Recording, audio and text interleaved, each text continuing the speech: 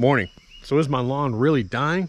Well, I wouldn't call it dying, but man, I have a ton of fungus. And we expected this. I told you guys this. I told you that this lawn was going to have issues once this heat and humidity hit. I'm going to talk about that, show you how to treat for this fungus issue, and how I'll probably be transitioning this cool season grass into more of a warm season lawn. Next, I'm going to take you out. I'm going to show you that huge reseeding project. We had a massive storm last night. I'm going to go out. I haven't looked at the damage. I'm going to go look at the damage. I'm going to show you the big sprinkler that we have. Uh, a couple of you guys have asked about that, that huge irrigation sprinkler. But before I begin, here's an important note. Something happens this time of year. What is it? Lawn care products, for some reason, around the 4th of July and a couple weeks after that, start to go out of stock. And some of it has to do with the way that the manufacturers run their plants.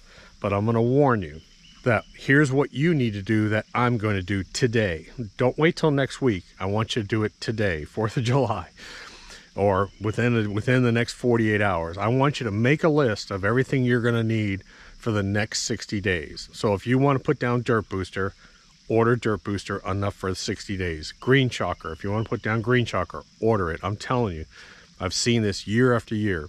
PGF Complete, whether it's the regular 1648 or 1608, if you need it, get it. The other thing you probably want to order is get some uh, of the double kill product because as warm and humid as it is, we're going to start to see army worms move in. It's going to be a major problem. Also, grubs. Grubs are going to start to be really active, so make sure you have some of the double kill. In the description below, I will list these items and I will have links on Amazon for it and you can go and you can buy it, but you need to make a list for the next 60 days. I don't know why it happens every year that after the 4th for about 30 or 60 days, stuff starts to run out because all your manufacturers shut down their plants. It's they shut down for the week after the week of 4th of July, then it's too hot to run, their machines overheat. I'm telling you, it happens every year. Okay, so let's go ahead. The first thing I'm gonna do is uh, I'll walk you out, I'll show you this project. Let's look at the damage. I'm surprised. I cannot believe we didn't have trees come down last night. We had a massive storm come in and hit and tons of wind and I was inside going, oh my goodness, what is gonna fall down? So let's do that first. If you haven't watched that seeding video I did out here, now this is the farmhouse renovation project. We've done this whole property. And one of the last things that I'm not looking forward to, but has to be done, was taking this nasty pond frontage in front of the house that was just crap and turning it into something that just looks nice. I don't necessarily want to have a half inch Bermuda lawn. I just want to have a nice green grass area out here. So here is the final project and this is what it looks like. And thank goodness we were able to get all the wheat straw down. Um, I don't see any huge washout problems. There's my big irrigation sprinkler. I'll show you guys that in a minute. But I know for a fact that over here, this is where a lot of my water runs out because it comes off the roof system over here and it just comes down this hill. And sure enough, see, see what I'm seeing here? So I have a little bit of a washout slide here in this area. And then I have a little bit of a, and then I have the major drain part here. Now that's good. And why is that good? That means that what I can do is I can probably use these this railroad tie system and actually dig a channel all along here. This is what we're going to eventually do. And then have that water, dig a channel, fill it with gravel, and have it go down here. So instead of having all this water just consistently flood over here, we're going to divert it and we're going to make the water go where we want. It's the same thing we've been doing up on our road systems. Why in that previous video, I rented an excavator and a skid steer to work on these road and drainage issues. Okay, so let's get to the fungus issue. Let me explain what I'm doing, why I'm having this issue. When we built this property, some idiot built this house right next to four massive oak trees.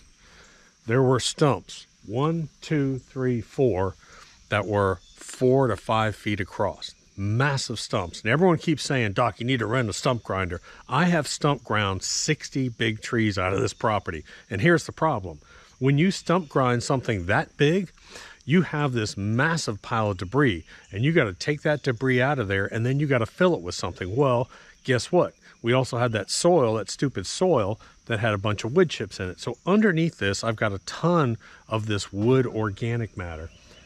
And I know for a fact that that's one of my issues. I've got mushrooms growing, I've got fungus growing, I've got now I've got lots of rain, I've got temperatures in the 90s, and I've got humidity at 80 to 90%. Fungus city. Okay, that's number one. So this is a good time of year to put down some fungicide. There are two products that I recommend. One is going to be the spray propiconazole or the granular, either one. I'll link in the description on the page below. I'm going to link to everything, the fungus treatments, the fertilizers, uh, dirt booster, everything. So you can help prevent this, but unfortunately, we've been so busy. I've been away. We're working on this other project. We got cleanup, we got gardens. I got so much going on, I kind of neglected this lawn. So I had the fungus move in. So what I'm gonna do, yesterday, let me tell you the steps. Number one, start cutting short. Let this stuff dry out. You've got to get that moisture out of there. So I cut it short and then I did a spray treatment of propiconazole on top of this. Next, what did I do? I'm gonna do. It rained last night, it rained heavy. So today I'm gonna cut it even shorter. I'm almost gonna scalp this lawn. I'm gonna hit it again with another treatment of propiconazole. I'm gonna hit it for a second time. Then what we're gonna do is we are going to come in here and we're going to keep scalping and keep scalping. Then I'm going to come in and do a core aeration and I'm going to pick up all those cores. I don't want to put them back. I'm going to pick up all those cores. Uh, um, I'm going to use my lawn sweeper and I'm going to sweep up all these cores and then I'm going to put down some common Bermuda.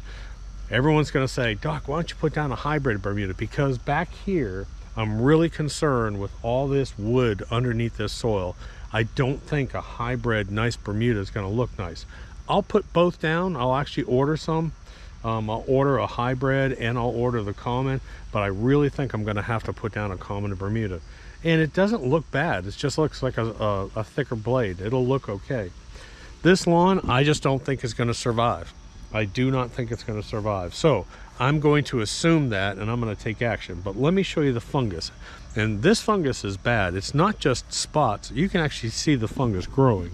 So if you look, see that white fuzz right there? See that white fuzz around and then see this? And there's fuzz and fungus all inside here. And I have got hundreds of these spots all over the lawn. So it's time to take some action. I got to get this thing to dry out. Next, let's talk about Dirt Booster. The question keeps coming up. Okay, Doc, uh, mycorrhizal fungi is good fungus and helps battle a bad fungus. Will that, will a fungicide hurt mycorrhizal fungi? I've said this time and time again, and I actually found a good research paper where they tested 75 different uh, fungicides and their impacts on mycorrhizal fungi growth. And in the end, the overall conclusion is that all fungicides do not eradicate fungus totally. You got that? So you will not eradicate fungus totally. Period. Good fungus or bad fungus. It will you will not do it. It just helps control it. It reduces it. The other thing, that's why we need to dry this out and open this up to help get rid of that. Um, but mycorrhizal fungi, same thing. You won't eradicate it. You'll just slow the population down a little bit. So what you're going to do is you're going to come out, you're going to apply your fungicide, you're going to wait about a week, then come out and put out your dirt booster and bump up that mycorrhizal fungi again. I get that question a lot. So that's what we're doing back here. That's my plan. My plan is now to focus on cutting this short, keeping it short, do a core, heavy core aeration, open this up, and get some of that moisture out of here so I can control what's going on. This is way too thick. This is way too long. I need to get it down. I'm gonna start cutting it hard.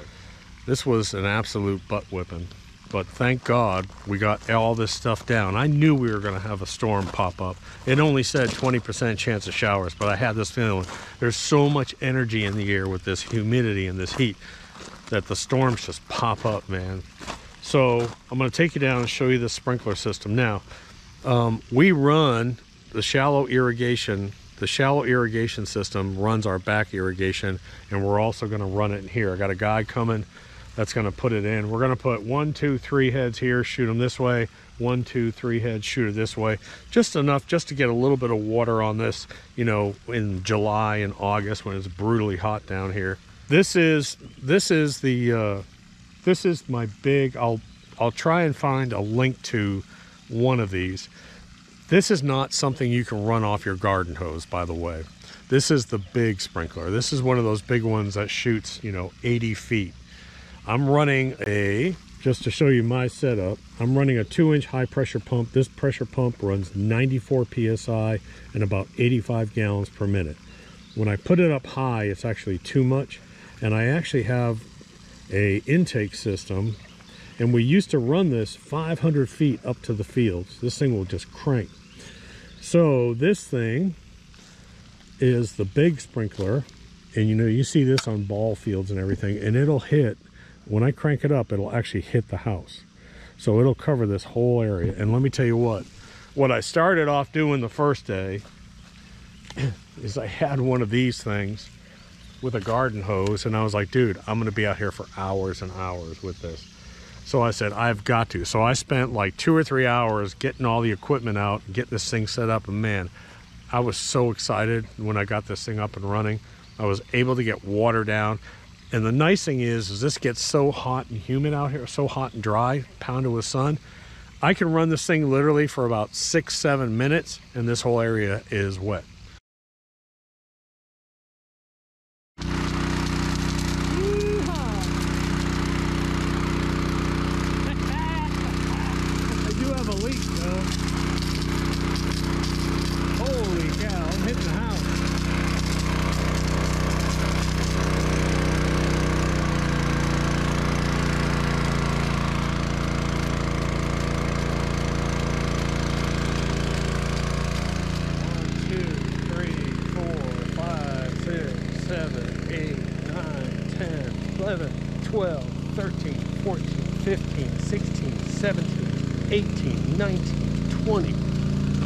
So 60 feet to here, and then you can see she was hitting here another 15 feet, so she'll throw 75 feet easy, even with the damn pinhole leak in it. Oh, I'm so happy. Okay, so I've talked to you about my plan out here. We're gonna open this up, we're gonna get it down short, we're gonna treat it. That's step number one.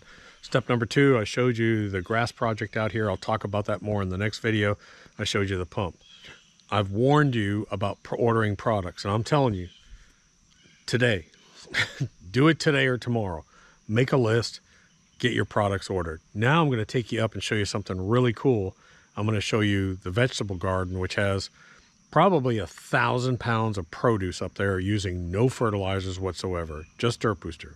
Here we go. Okay, so I'm up in the upper fields. I want to show you real quick. We've been real fortunate to have actually decent amount of rains, almost too much rain, but I want to show you this field over here. Look how thick and lush this is. Now this is one of our wildlife fields. So this is actually planted for the deer and the deer just pack in here. And you can see clover and strips of purple top turnip, clover, strips of purple top turnip. And man, let me tell you what, if you wonder why we call this place the Rack Ranch, I'm gonna put up a video clip real quick and I wanna show you. I sit in my sunroom and I look at the pond and on the other side of the pond berm we have a feeder over there and I wanna show you some bucks that come in there every night. This place is loaded with bucks all the way through spring, all the way through the summer up until they go into rut and then they start to move out. But we have a huge amount of deer here and lots of big bucks out here. And uh, we take care of them. That's what we do. We really don't hunt a lot. Out of the thousand deer I saw last year, I shot, we shot one deer. That's it and we really just manage it for the wildlife. We're trying to get the turkey population back up. We've got wood ducks, we've got blue herons, we've got all kinds of wildlife here. We stock the pond, but oh man, there's just butterflies everywhere in this field right now. But let me take you in. I'll go up and show you the cornfield too. I want to show you this. This is pretty amazing. So on our garden, we don't use any fertilizers, zero. We just use dirt booster in the soil and then we've used Dirt Booster compost top dressing. Here's a quick note. I was having my orchard garden over here got attacked by Japanese beetles while I was away. And so I have sprayed that. But here, these bags, I put this out 48 hours ago. Look at that line. There's a line of Japanese beetles in there. There's probably a hundred Japanese beetles already in there. These things work.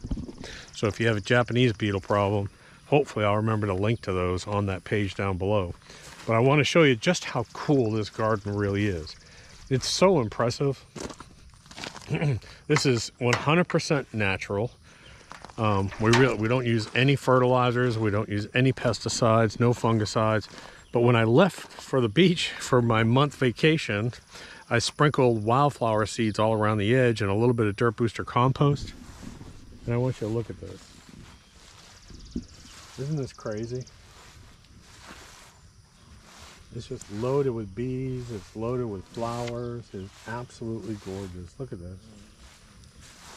I mean, the whole place is just buzzing with bees.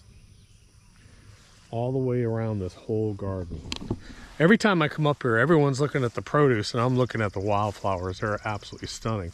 But the Good Witch came up here and we stripped out all the tomato plants to open them up. There is not a single ounce of ground here that's dirt. It's all covered in clover and grasses. This is basically a regenerative no-till operation. But I want you to look at the produce. Look at this. Is that crazy? Is that insane? This is one tomato plant. Look at that. And this goes all the way down like this. So on this one row, I probably have at least 100 pounds of tomatoes sitting here. And I've got one, two, three rows of tomatoes there's got to be 200 300 pounds of tomatoes. We've already pulled 150 pounds of produce out of this place and i got to pull more. Uh, my problem is is time labor and um, i'm finding people all my neighbors i'm leaving five gallon buckets of produce on their doorsteps. Even like the green pepper plants they're so loaded with green peppers right now. Every plant every plant has you know five six seven look at this. They're just absolutely loaded in here Every green pepper plant is like that. Every tomato plant. We got to get in here and restake up some of these tomatoes. The green beans. I'm so tired of picking green beans. Thousands of them. Peas are coming up. Um, we had one problem come up, and that was the fact that the yellow squash has gotten too big. We haven't been able to get in here. Well, I've got these huge yellow squash. And I'm telling you, there's got to be 25, 30 of them in here. There's got to be 100 pounds of yellow squash that I just haven't had time to harvest. Um, now the zucchini, it's actually pretty cool. We always leave a couple big zucchinis on the plants. So like you can see as an example, this monster, if I can get to him, show him to you. Look at that monster right there. It's over two feet long. So on the zucchini plants, we like to leave a couple big ones because I give them to people to make zucchini bread and I've got a bunch of them. I've got 150 pounds of zucchini sitting here. But when I say big yellow squash, you think I'm kidding? Look at this. Look at that. Those things are getting massive. And unfortunately, when they get that big, they're not good to eat. So I got to find someone that, you know, wants a casserole or something because, I mean, look. Look at that right there. Isn't that crazy? Green beans. God, Lord. I'm so tired of picking green beans, man. My green bean plants are a little bit yellowing.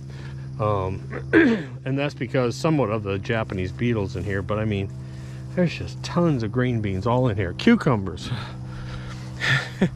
I went over to my neighbor's house with eight cucumbers yesterday. I said, please tell me you like cucumbers and handed them eight cucumbers. But I've got my cucumber plants are finally starting to grow up. And you can see this is what I've got. Look at this. They're just absolutely gorgeous. And they're hanging all through here. I got to come back. I got to pick more. I probably got eight more I got to pick today. But isn't this... Look at the butterflies. Look at them. Butterflies, bees, everywhere, all in here. Look at this lush green the infiltration rates of this place have greatly increased so I don't have runoff anymore because there's roots all over the ground. We do not use fertilizers. I'm gonna tell you again if you have a flower garden or if you have a vegetable garden put dirt booster into the soil and then make dirt booster compost. I got plenty of videos on how we make that and top dress just top dress with dirt booster compost. It's all natural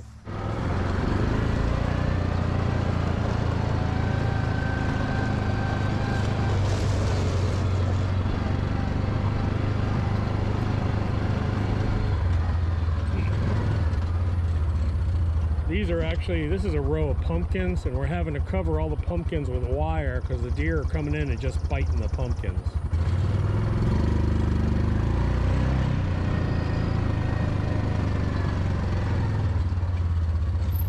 Okay, so this area is where I was able to get dirt booster into the soil.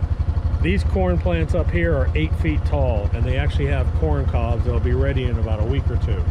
As we go down, you'll see I wasn't able to get dirt booster into the soil and look at the change of the corn.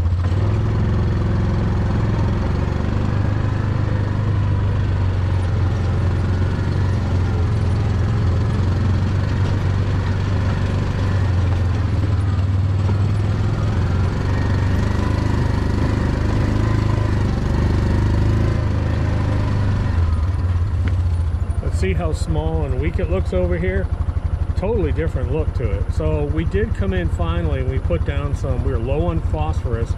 We had to put down some phosphorus and I put down a little bit of nitrogen fast release but I came through here.